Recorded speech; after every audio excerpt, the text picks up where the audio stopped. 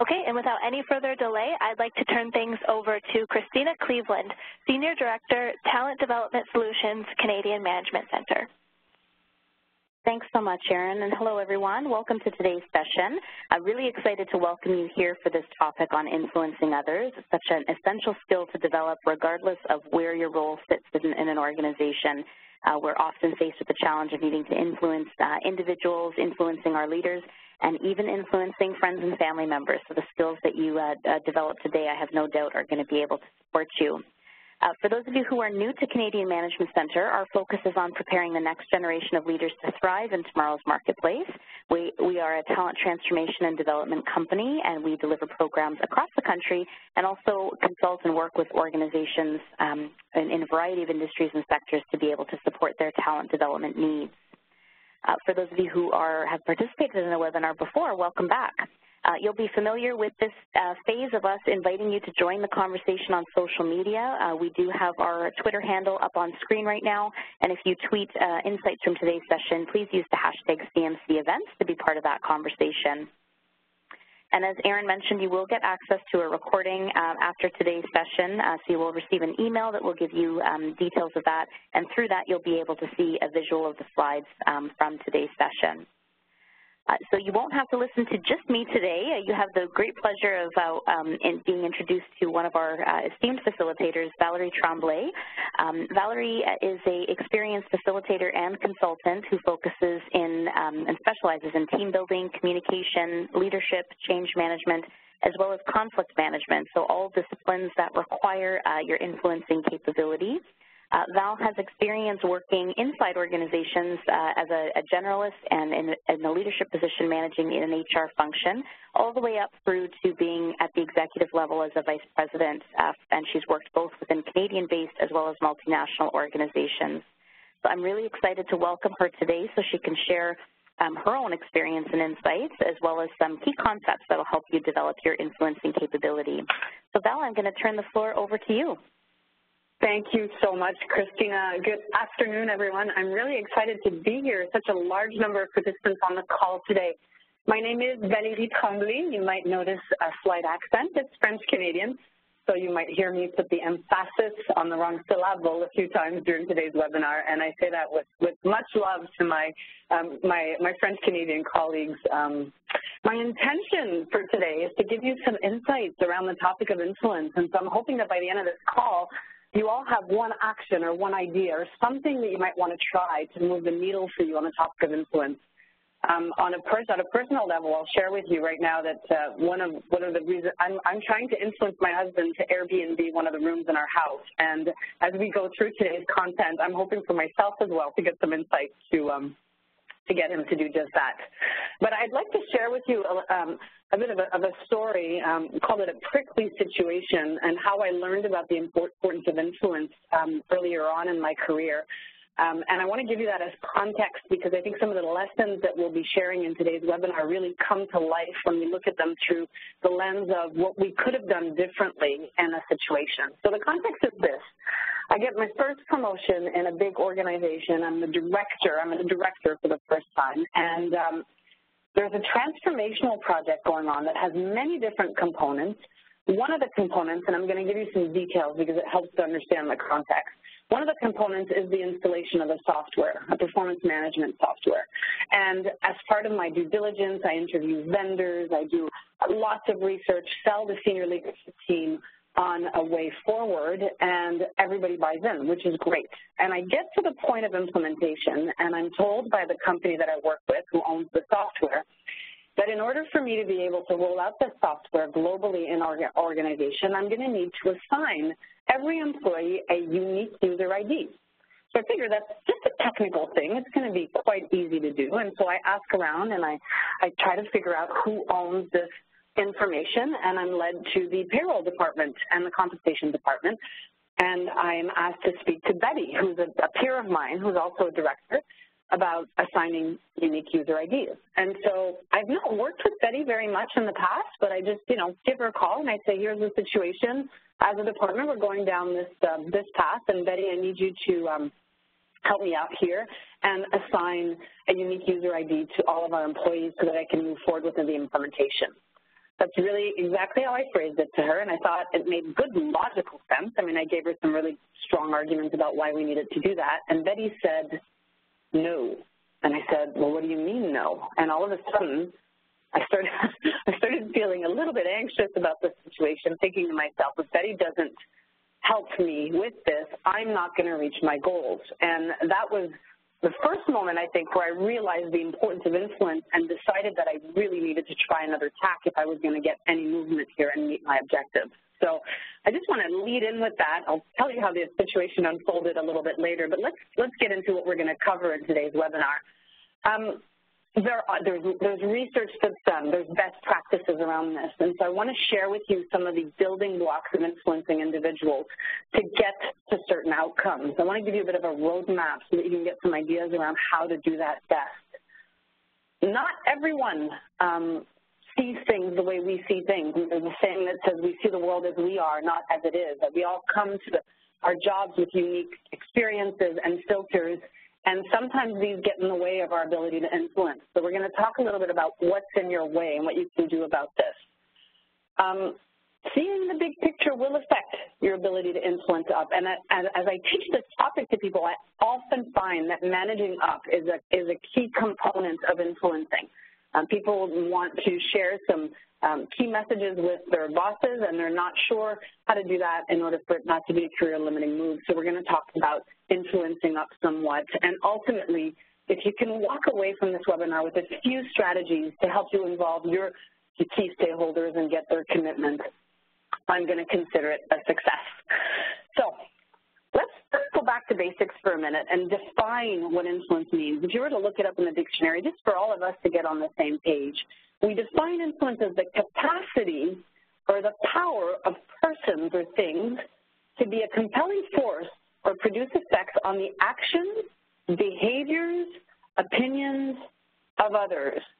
So a lot of times we're focused on what we want people to do, but you'll notice in this definition that there's also a component of how do we want people to think and how do we want people to feel? And that's an important question around the idea of influencing. Now, if I go back to my scenario, which I shared with you a few minutes ago, um, I had zero capacity to influence because my stakeholder, who was one of my peers, didn't really want to um, embark on the journey that I needed her to embark on. So I'd love to hear from you now. If we could bring up a poll, one of our first polls, want to put this in context as much as possible. Um, who, who is it that you're struggling to influence? Now, these polls are anonymous. We're not going to tie them back to you, but we'd love for you to use um, the little radio buttons here and, and pick um, what comes to mind for you right now. Who are you struggling to influence? And, and what's, the what's the effect of that? What barrier is created for you here? Is it, like me, uh, an impediment to you achieving your results? Um, is it low collaboration? People don't want to get on board with you? Are you not being as efficient and effective as you can because efforts you're duplicating? Does it slow you down in terms of productivity? Is it just a morale thing? I say just, but it's much more than that. Is it a morale thing? If you can uh, weigh in on this poll, take a minute here and think about your current influence scenarios. So just a reminder that the poll is opened up on the right-hand side of your screen. So go ahead and select the option under question one and question two. And then please make sure you just click on that submit button so that your responses come through to us. We'll close out the poll um, and get a sense of where we are for those of you participating today. Um, and we realize that in on any given day, it could be all of the above in terms of some of these um, options. So just think about a current scenario, something you're dealing with in the moment, and let us know who you're struggling to influence. It could be uh, up in the organization, across, and certainly down. Um, so Erin, maybe if we can go ahead and close out the poll, um, just see the, where were the results uh, netted out for us. Um, so it looks like the majority of us participating today um, is selected option D, people I don't have formal authority over. Uh, second to that was my leader or senior leaders, so managing up. And then the barrier that that creates looks like the majority are indicating, Val, that they are not able to achieve results um, or they're mm. seeing um, the impact of slowed productivity and certainly um, demotivating uh, came up as a barrier. Wow, I feel in really great company, Christina, because I'm I'm totally thinking back to my scenario, and that was exactly it for me. I did not have any formal authority over uh, my peer, and I I think I called her Betty at the beginning of the webinar, and now I'm, I'm I was trying to protect her name and not call her her real name, so we'll call her Betty Diane. I don't know what I said, but um, I didn't have any formal authority, and at the same time, um, when I just so to give you a little bit more information, when I went to see my senior leader about it, the fact that Diane wasn't collaborating, um, what I got as a response is you're both directors, figure it out. So I also had a second influence strategy or influence um, dilemma here in trying to influence my senior leader, and I can absolutely agree with these poll results as well. Um, makes it hard for us to achieve results and can feel very demotivating and slow us down. So thanks for your responses in the polls. Um, you know, interestingly, we can see from your response why influence matters, right? We need to achieve results with and through others. And when you're an individual contributor, you're responsible for your own results. Sometimes you move to a manager, director uh, position, and you get your results through others. And what I've found in organizations these days is that the flatter we get, the more that calls on our ability to influence without formal authority. So we, we are told, you know, don't work in silo, collaborate with other people, and we don't have that, that hierarchy to force people to do what we want. Um, so that said, I'm also looking at the amount of global organizations. Um, there's a growing need for collaboration, which means inviting different perspectives, and we do know that diverse teams with diverse perspectives get to better results, especially when we're, we're serving clients that aren't um, that, that are that are very different in their needs as well. And so um, I'll add to that the context in which the economic context in which we're in, um, doing more with less. I'm sure many of you are asked to do this on a daily basis, and that leads to you finding ways to be more efficient. And last but not least, you know, um, there's a sense that the power doesn't often come with title anymore. Title doesn't confer as much power as it used to. And so it's not because we call you a VP or a director. Uh, people might comply with you, but that's not how you build engagement as a leader. You build engagement by creating um, you know, the necessary collaboration with people. So um, want to share with you now one of the most common misperceptions around the, con the concept of influence. So Christina, if you, yeah, thank you. Um, a lot of us think that influence is about getting what we want or getting people to do what we want them to do. I want you to give me unique user IDs for everyone so that I can implement this great tool for our entire organization. That's what I thought as well. But if you think about it, what influence really is, is about getting people to want to do what you're suggesting or recommending. Let me say that again, because that was a big, big insight for me. Influence is not about getting what you want. Influence is about getting people to want to do what you're suggesting or recommending. And so if you think about where that starts, that really starts with understanding the needs and the interests of the people that you're trying to influence. So I'm sure everybody could use the chat here for a minute. Um, before we go there, Christine, I'm just interested in, in, in hearing people in the chat box. What's the difference to you between influence and manipulation? What's the difference between, how would you define manipulation? If anybody can, has an idea of that, go ahead and chat it in the chat box. You can find the chat panel again on the right-hand side of your screen. Just select the option to chat. And when you're uh, looking at the send to option, just select all panelists so that way both Val and I um, are able to see your responses as they come in. So how would we, what's the difference between influencing and manipulation? All right, thank you, Hillary. I love that. Um, okay, some, some really good insights if, you, if, you're, if you're looking at the chat. There's this whole notion of manipulation being underhanded or negative or um, or, or having control or trickery, right? It seems sneaky. We have that comprehension of manipulation being sneaky. So thank you, everybody. Those are, those are really great definitions. Manipulation is really trying to control someone or something um, to your own advantage, and it's often done unfairly or dishonestly. And so manipulation here isn't the goal. Um, influence is the goal. And thank you, Cassandra. Intent does make the difference, right?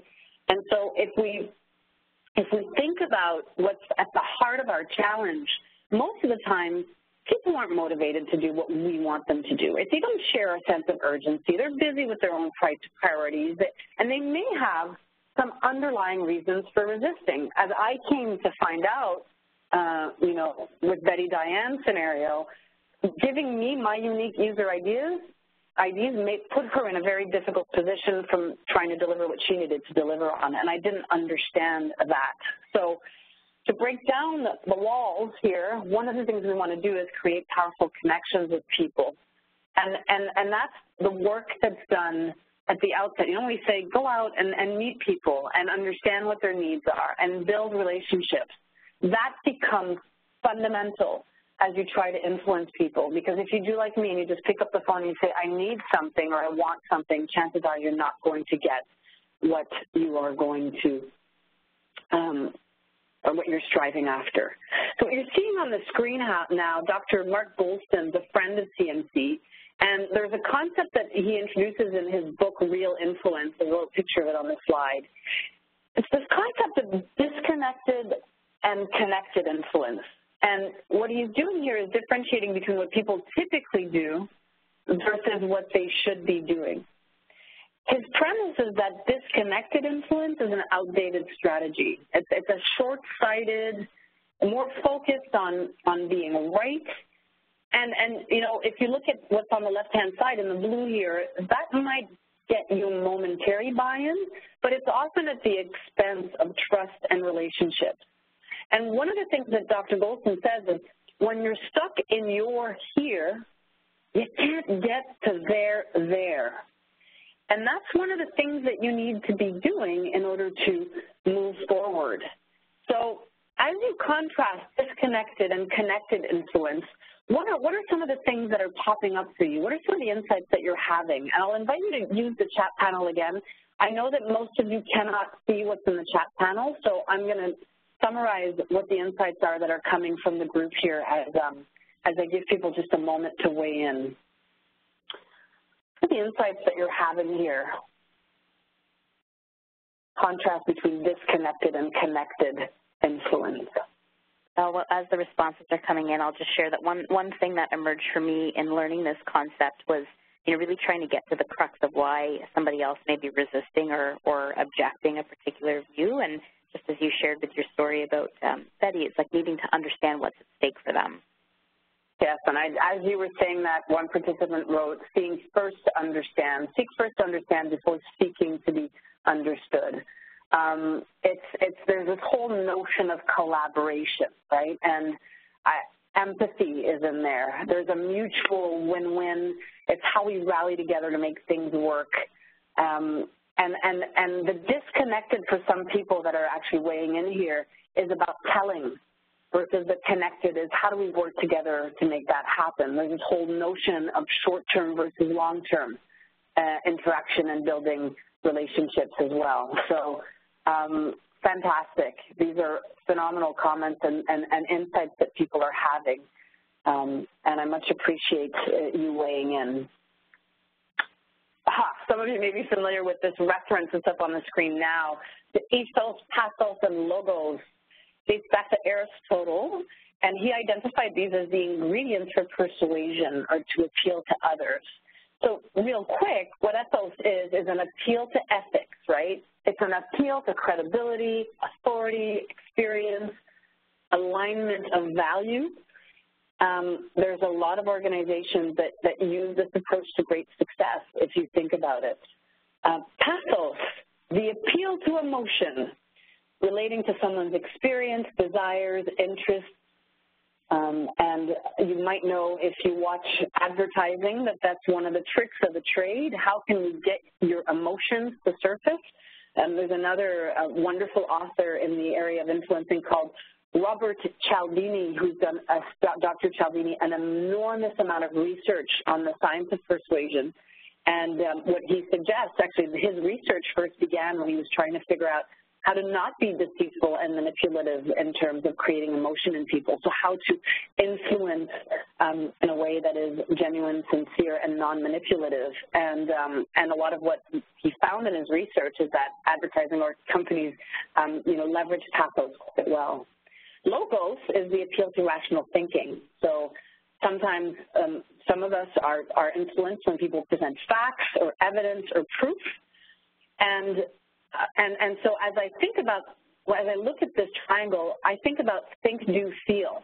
A lot of times when we're trying to influence, we are focused on the element of what we want people to do. Right, what do I need you to do for me? I need you to give me unique user ID. If you don't do that, I won't be able to implement my system. My system. And I mention that because many times we don't really spend any time thinking about how we want people to feel and what we want people to think. And how is what we are presenting aligned with their values? How are we building trust from the outset? So um, in a lot of cases, we need a combination of these elements to uh, move the needle on people and get them to actually uh, come to our side of the fence and collaborate with us and share our perspective.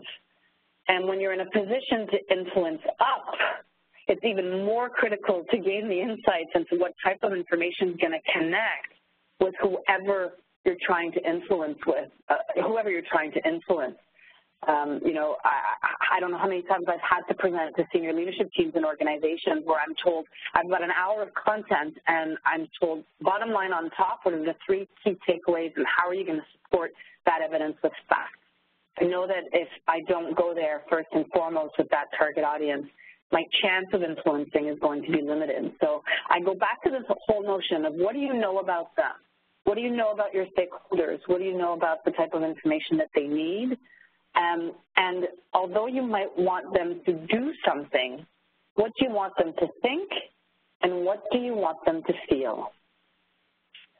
Food for thought for you right there. Um, Christina, I would love to hear from our audience once again. What is your main challenge in influencing others? Is it people stuck in their own position? Is it perhaps miscommunication or misunderstanding? Is it a question of turf wars or silos? Are you realizing perhaps that you lack familiarity with who your audience is? Uh, or is it maybe resistance, resistance to something new? Maybe, like Christina said earlier, maybe it's a bit of everything. Um, you know, talked about who you're trying to influence and what happens when you can't, trying to influence your peers and your senior leadership, but what happens What's getting in the way of your ability to influence? Let me give you a minute here to, um, to answer this poll.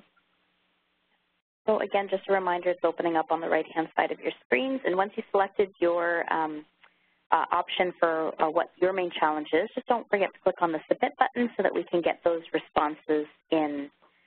Um, and I know earlier, uh, Val, you made a mention that as organizations get flatter, um, our influencing skills are, are being called uh, uh, upon. And someone mentioned in the chat panel that um, key skill of empathy, which certainly ties in uh, to influence. So I think, yeah. you know, as much as we look at what our challenge is in influencing other people, if we're feeling frustrated, chances are on the other end that individual could be frustrated too.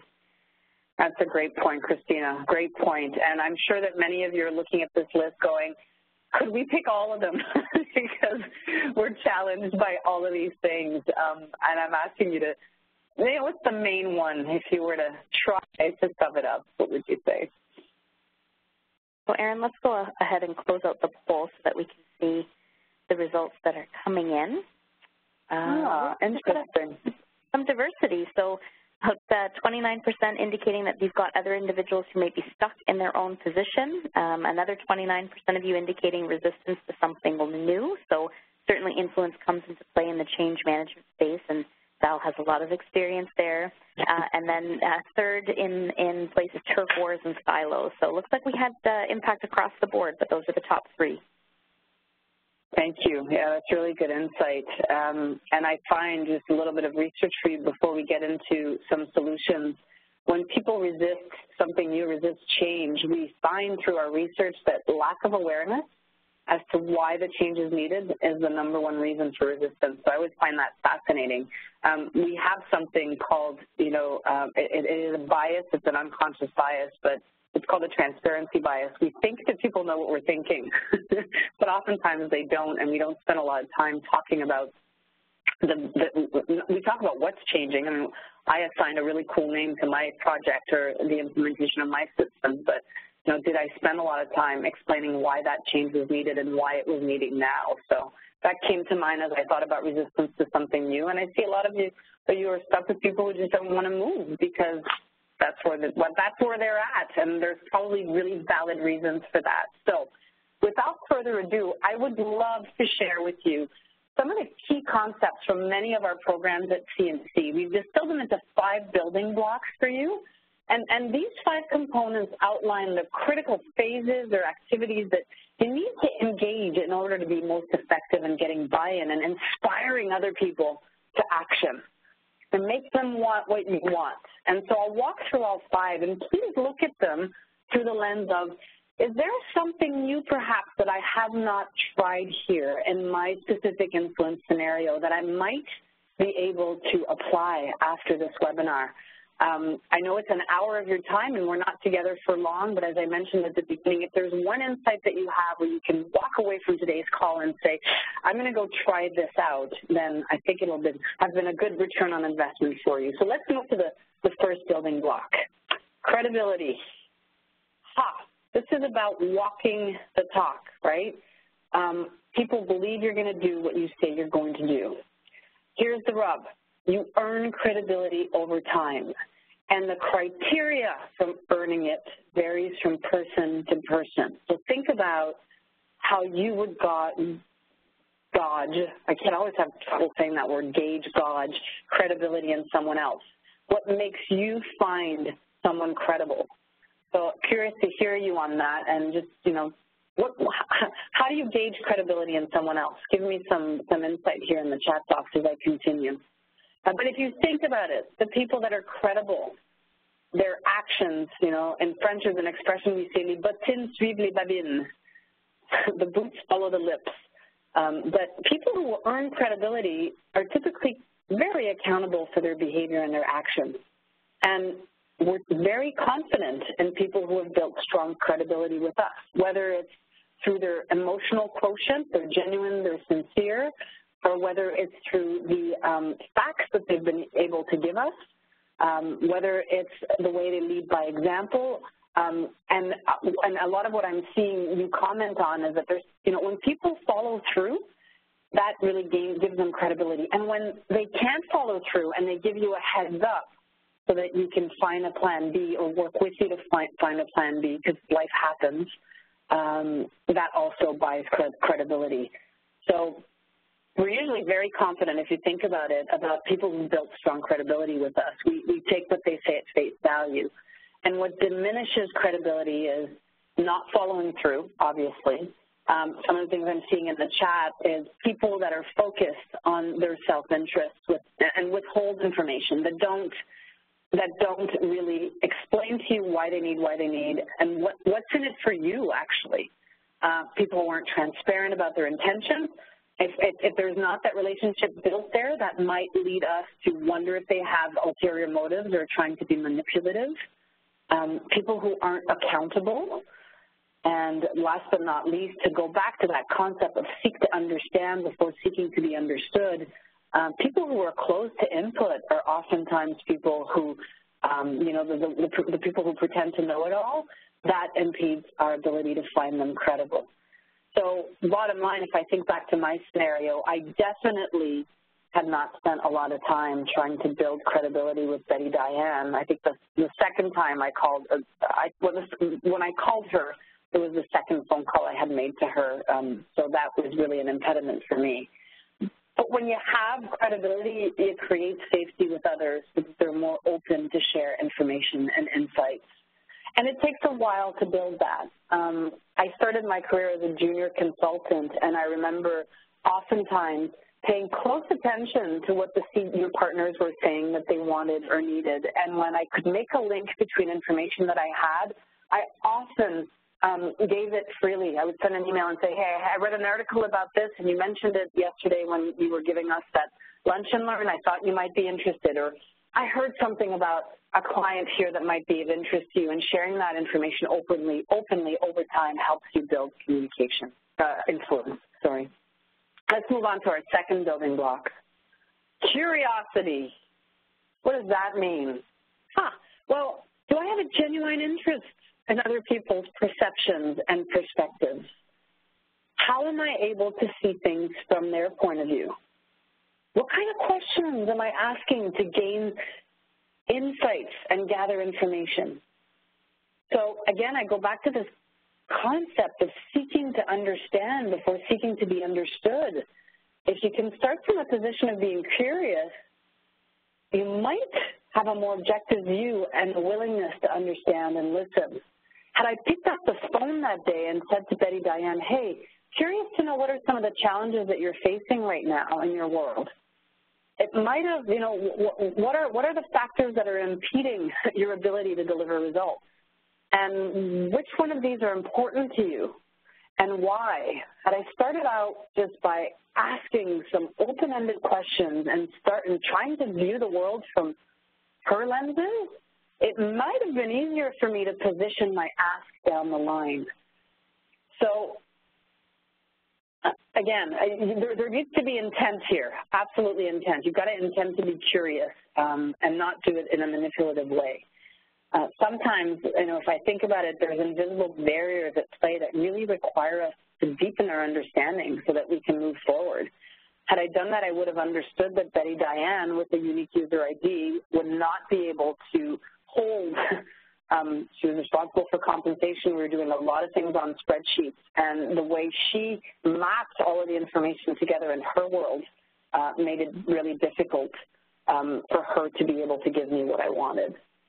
So obviously, um, sometimes if, if, you're influencing up, I want to go back to all the people saying I need to influence up here. That curiosity of yours will be targeted to uncovering the priorities of the people that you're trying to influence because if you can connect what you're doing to their strategic agenda, that might give you the influence that you need. Um, so what could diminish influence? Well, not inviting input from other people, telling, not asking, um, not being open to new ideas, lacking awareness of the context in which they're operating. So this whole notion of curiosity allows you to discover more about the other person and really has a, a byproduct or benefit, if you would. It increases relatedness. You're building relationships. Our brains categorize everyone. It is a universal tendency to categorize. How we do it is individual, but I mean, every time you meet someone, you're creating in-group or out-group in your main, in your brain. So getting curious about other people builds relatedness, building relatedness creates in-group, there's a bunch of neuroscience there, and in-group gets you closer to be able to influence. So it's about caring to learn about people. Thank you, Kathy, uh, and their challenges and, and how you can move with them. Thank you so much. Moving on to uh, building block number three. And Christina did say that there was going to be a Q&A at the end of the call. Um, if you do have questions, I'm going to invite you to hold them for a little bit because I want to make sure that I'm, I'm capturing them so, um, that we're capturing them so that we can answer them. All right, connection. How are we deliberately building relationships? And here's the, oh, the tough one here is, is when I think about that and when I say that, a lot of people tell me, I'd love to do that, but I don't have time. I don't have time, there's too much to do. However, it's a catch-22 because when you do spend some time doing that, you're going to be in a better position to understand your audience, build rapport, and engage in a more reciprocal exchange. So if you go back to the research I shared a few minutes ago, connected influence is really about viewing others as collaborators and eliciting that same response from them. When you're creating that spirit of exchange and of sharing, and you're focused on ensuring mutually beneficial outcomes, um, that helps, right? So how do you do that? How can you create connection? Well, I mean, the obvious one is taking the time to know them, Um, maybe sharing something of value or asking yourself, what could I learn from this person? Uh, here's what not to do. I'm stuck in my scenario with Betty Diane, and she works out of somewhere in the U.S., and I decide that my project is so important to me that I'm going to fly out there and take her for lunch. That was a little bit manipulative if I think back, because I had a hidden agenda. I wanted her to treat her to lunch, and I wanted to build connection. A little bit too late, I'm going to say now. Hindsight is 2020. Um, and so we went for lunch, and I tried to do everything right. I was building connection. And um, and at the end of the lunch, I said to Betty Diane, could you, um, so how about that unique user ID? Are, are we aligned? Are you going to make sure that that happens? And she said, no.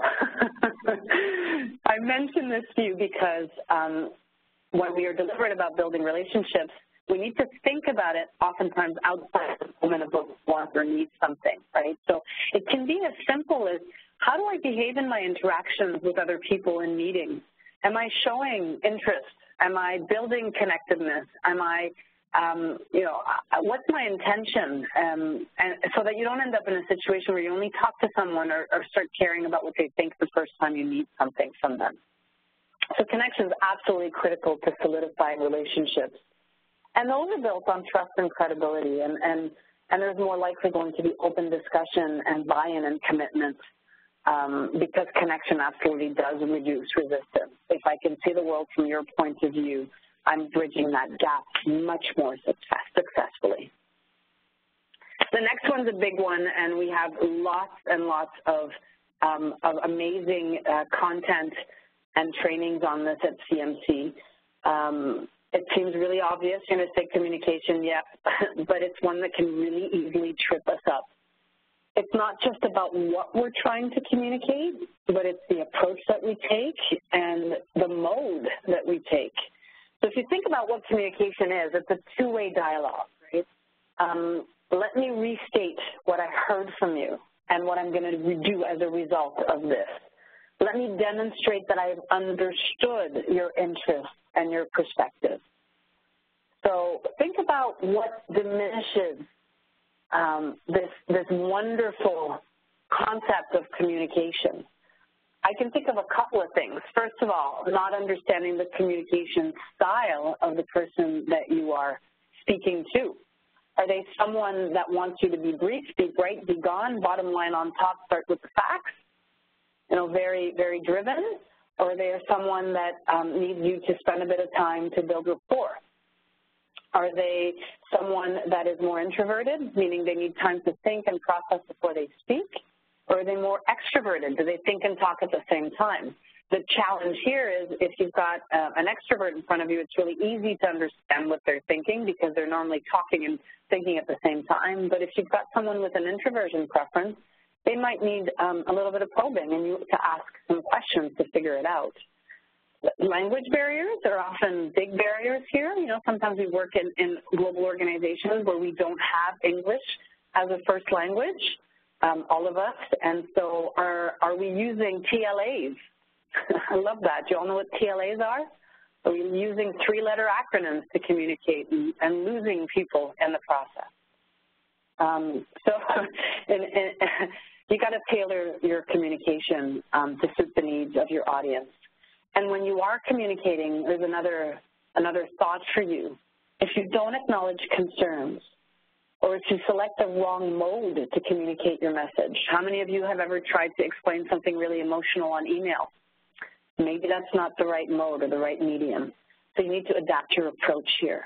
And uh, again, I will say this, in, a, in, in the array of, of, offerings we have at CMC, there's so many um, courses that really help hone our focus around this very broad topic of communication. It's key for influencing for sure. So here's my last one. Yeah, I, somebody just chatted about, thanks Hillary, body language speaks volumes. We communicate with our words. There is, um, you know, lots of research that's done by Mr. Mehrabian Dr. Mehrabian around communication. It's not, the words are the smallest part of it, especially in an area of conflict. We communicate with our body language and with our tone and with our pace significantly. And if you think about email as an asynchronous form of communication, I will not go down that rabbit hole. I know I could, but there's so much to say about that. All right. finally, my last building block is commitment. So I define commitment as a desired outcome of influence, right? So it's about what you're going to do, and it's also about what the other person is going to do. So big picture, this is really about increasing willingness and getting engagement and increasing support and achieving buy-in and following through. So when you've understood the person's perspective and when you've shared yours, you're really open to working together to create a unified vision, and, and that helps people see how you can work together towards the same goal. Um, here's where here's where the trap you might not want to fall into. You stop once you get what you want. So let's say that, you know, I get I get Betty Diane to give me that unique user ID and I never um, collaborate with her again. I might get her to comply once. I'm diminishing the long-term ability to influence. Um, pushing people to commit before they're ready.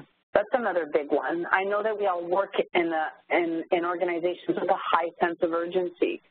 Um, allowing people to pause and reflect and come to their own insights about why they need what you need is a very powerful way to get long-term buy-in or commitment. And so, um, you know, even though it might lose you a couple of hours, sometimes saying to the person, look, I want to give you some time to think about this tonight and, and make sure that you have all the information that you need. Can I come back to you tomorrow um, and see you know, what else you might be needing to be making an informed decision? might be best than trying to push the envelope. And sometimes you might find when you're influencing that you're not going to get to your ask all the way, right? You might not get to the overall ask immediately. And so are you moving the needle forward in a positive direction? Um, what's one step forward you can get the person to make? One more thing uh, around commitment. Are you only serving your interests or are you making sure that the interests of the person that you are trying to influence are also served? And so overall, that commitment factor is not just about getting buy-in, but it's also about following through on what you said you were going to do. And that feeds back into credibility. You can see all these linked together. Got your commitment, am I going to follow through? Um, ultimately, your actions either build or they erode your reputation depending on how you show up through the process and and how you lead people to commitment. So five building blocks, and, and these are really, the, the, if you think about building a house, this is the foundation, the foundation piece around how you build um, your influence. And I'd love to take a moment and hear from you as I was talking you through these. Um, curious to see which of the building blocks you've identified as an opportunity for you to enhance either generally speaking, there's one that you might want to invest some time and energy, or maybe you had an influence scenario at the beginning of our call, top of mind, and you think, ha, there's something I can do here to get this person, you know, to move closer to the ideal outcome for both me and the person that I'm trying to influence. We're going to uh, go ahead and open up that poll. And Val, while um, those responses are coming in, I just want to remind people, if you have a question for Val, go ahead and submit it into the Q&A panel, and we'll be transitioning into that segment shortly. Um, but Val, there was a, a, comment that came in from Jordan asking, you know, what about collaboration? Where does collaboration fit into those five building blocks? Do you mind just touching mm. on that while um, we get in the results for the poll? Yeah, absolutely. And Jordan, I would say I think it depends. It depends how you define collaboration. Um, and to me, collaboration is present within. I mean, all of these, right? There, there's an element of collaboration in each of the of the building blocks to me.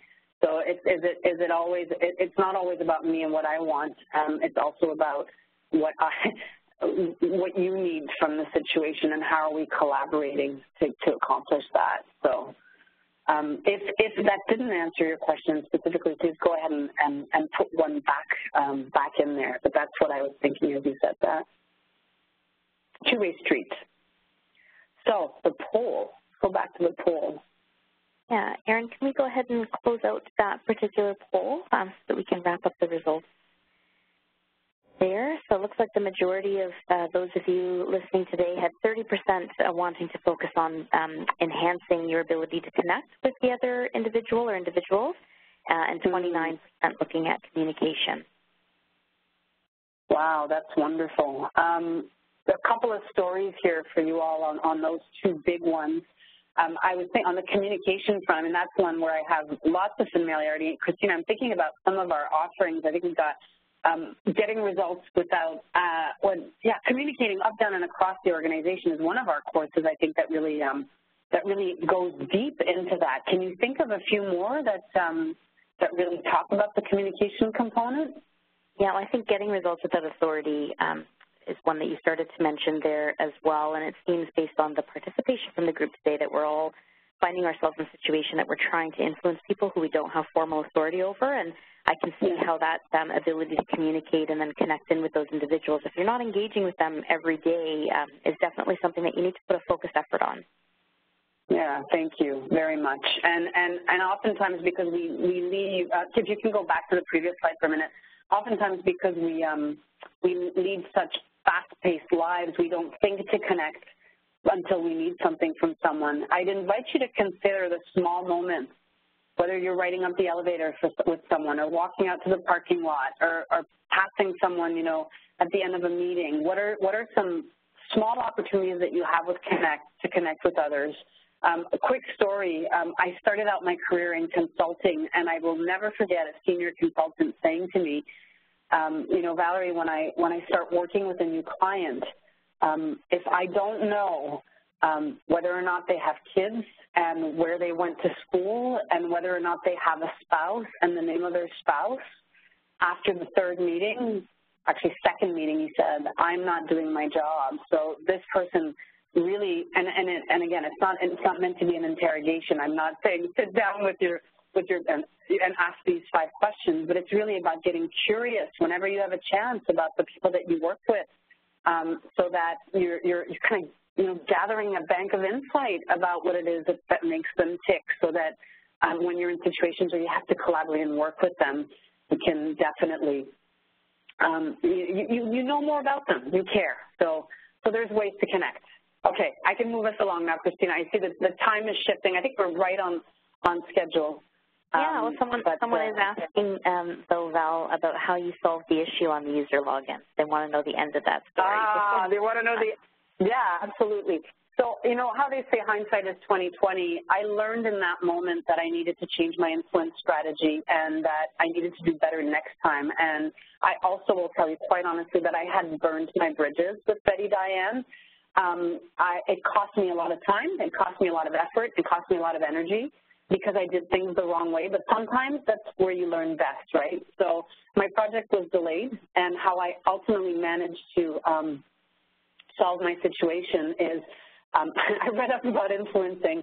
I, I, I tried to see what I could have done differently. I had a conversation with a coach, and when I saw that, you know, I had really burned my bridges with her, I started um, asking around me, my colleagues, the other directors in the organization, following these principles with them to figure out, you know, how my solution or my, my unique user ID and what I was implementing might help them with their work. And I did my homework there, and at one point, there was enough people at my lab, like in our, in our peer group, that were bought in to the solution that um, Diane had to make a shift. So interestingly, because I had burnt my bridges, I had to find a workaround, and the workaround came from um, really um, gathering or influencing more more intelligently and more collaboratively my peers around me to get her to move. Um, all that to say, though, I, I could have done it a lot better and a lot more effectively had I known then what I know now. Um, and if this topic interests you, I will say for me at least, you know, they call me the influencer now at work, so I think I've mastered some of these skills pretty well, and it served me beautifully in my career. Um, again, as long as it's not in the in the manipulation sphere, it um, it can be helpful. So that's the end of the story right there. I'd, I'd love and this ends the recorded part of our presentation today. My name is Tanya Schiavone, and I'm here to facilitate the live Q&A. So if you've not already taken the opportunity to enter a question in the Q&A panel or the chat panel, I invite you to do that now. I do see there is a uh, question from Nicole, and Nicole asks, how do you deal with power struggles while trying to use these building blocks?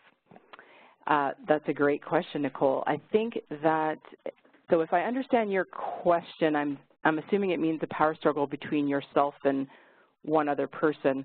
I think going back to what Val said, there are a couple of pieces there. It, it, you know, it depends on your starting place. When you think of those building blocks, you know, what is your credibility with this person? What is your connection with this person? So if you haven't already made that connection or that relationship, you may not know the crux of what's behind the power play. So I think one of the most important building blocks to bring to that conversation would be the one around curiosity. So what is it that this person needs to feel powerful? Uh, maybe what is it about your request and what you're asking them to do that threatens that power? And what is it that ultimately you want that person to feel? So getting back to what is your intention? Are you also on the defensive because you're trying to get your agenda pushed? Are you really coming from a place of collaboration? Um, are you communicating in a way that has this person feel uh, recognized and in control? Because oftentimes what's behind that kind of power play is some sort of fear. So like in the story that uh, Val shared, that individual had a lot at stake by acquiescing to Val's request and that would make her probably feel less confident, less powerful. So I think really of all the C's that were presented there, the building blocks, curiosity is probably going to be one of the most important um, and really coming up from a place of uh, intention to find a middle ground, a win-win situation. Uh, there is another question coming in from Lillian, and she asks, how do you overcome a peer who wants to sabotage your efforts? Ooh, wow, that gets a little ugly. Um, thank you for that question. Well, I think uh, this is somewhat similar, and we might be getting into passive-aggressive territory. So um, I don't know, Lillian, in your situation, but uh, sometimes you encounter peers who will say to your face that they're on board, you know, or in front of a group, yes, and then they either try to sabotage, they do something counter to what they said they would do, or they just don't do anything, uh, period. And this is where you may need to engage in some crucial conversations, and um, you'll be happy to know we also have courses in that area. Um, and I would approach this individual and, you know, again, coming from a high intention uh, for resolution, asking, you know, what's, what's in the way? You know, I've, I've asked whatever the situation is, whatever it is you're asked, um, and asking the person maybe what's getting in the way, asking non-judgmental questions, in other words, because if you, you don't want to ask a question that's going to put them on the defense, but keeping it neutral, uh, you know, what would you need to take a step forward in this initiative? Uh, if you can get the person to make uh, a commitment uh, verbally in front of others, that's also very helpful because that creates what we like to call a social contract. There's a little bit more um, skin in the game for them to follow through. But I think it really is about getting to the crux. So how can you be curious? What questions that can you ask without putting the person on the spot? So it's not like, what's wrong with you? Uh, why are you sabotaging this? I can't believe you would do this. It's more like, you know, what's in the way? What am I not understanding? What would you need to get on board with this? So hopefully um, that is helpful. And thank you, Noreen, for acknowledging that this is a great uh, lesson. Uh, one of the other questions that is very popular as well is how do you influence when you're remote? So this is a question that's near and dear to my heart because I work remotely for CMC. And one thing to note that in our brains from a neuroscience perspective, we have something called a proximity network. So when people are closer to us, we feel safer. Val talked about the in-group and the out-group. So when people are closer, they feel safer. So this puts the emphasis on us to have to get back to that C about connection. How can you be building connections with people that are remote that overcomes our natural bias in our brain to not feel as safe with those people that are um, far away. So again, this is about creating initiatives. So when I go into the office, uh, for example, it can be very easy for me to spend all my time on work and very difficult sometimes to carve out time to build relationships with people that I don't see. So if you have some of those people that are remote and you have an opportunity to spend some time with them, do that. Anything that increases or decreases that distance, can you use Skype for Business and do a visual versus a phone connection versus an email? So it gets back to that human connection piece is really going to enhance, enhance that ability. Um, and I see that there is another question from Renee. What advice can be given to low-level employees trying to influence senior management when lengthy discussions are undesirable from the senior manager? Okay, so uh, I, I kind of sense two questions embedded in one question there, Renee. So there's this question of style that Val talked about. So one of the things we, we do in our courses is really help people understand someone's style. So it sounds like the senior manager just wants you to get to the facts, get to the, the point. Uh, so you want to be able to influence with logic. So I think regardless of your level as an employee, it still comes down to understanding what's important to the senior manager. So if you have um, concerns, regardless of what level you are in the organization, how can you link that concern to something the senior manager wants to achieve? So let's say, for example, you're in a team where there's low engagement, uh, people are just really unhappy. Um, instead of you know, going to the senior manager and saying, you know, you need to know that people are unhappy, how does that happiness or engagement link to the strategic objectives of that senior manager? Is it about productivity? Is it about sales? How can you tie it to something factual that they're going to care about? So that requires you to understand the business it requires you to it requires you to understand the goals for your unit and that senior manager. It requires you to understand a little bit about the personality of that senior manager. So again, get really curious, and when you can find some of that information, try to deliver it in, in a way that meets that person's um, style as succinctly as possible.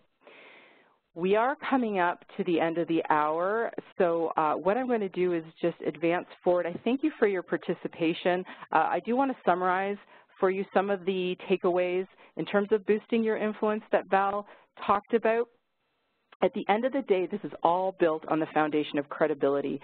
So if you want to be credible with those senior managers, someone that's a peer, it doesn't really matter who, it really starts with living up to those commitments, being that person that follows through, that walks the talk. So right out of the gate, you'll have a different listening with your audience. You want to come from a place of partnership, and building that partnership can involve sharing information, being very clear with your intention, that you're in this for a mutual win-win. Um, making sure that you're reaching out to people, which can be challenging for some of us. If you're like me, uh, I'm, I'm very introverted. I like people, but I'm not always the first one to initiate those connections.